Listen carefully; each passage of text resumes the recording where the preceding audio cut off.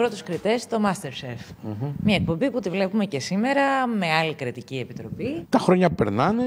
Ο δικός μας ο κύκλος πιστεύω ότι έκλεισε. Το σημερινό Masterchef δεν το ξέρω. Το, με τον μόνον άνθρωπο που γνωρίζομαι αρκετά είναι ο Λεωνίδας ο Κουτσόπουλος, γιατί ήταν ο άνθρωπος που μας έκανε τον backup στο δικό μας Masterchef.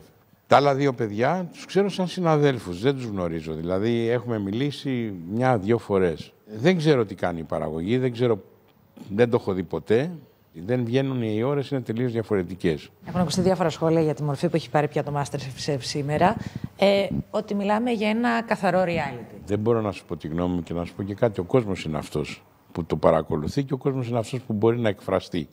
Εγώ από τη στιγμή που δεν το έχω δει, δεν μπορώ να σου πω τίποτα. Καλό είναι όμως κάθε εκπομπή τηλεοπτική κάτι να αφήνεις στον κόσμο. Τώρα πλέον έχουμε δει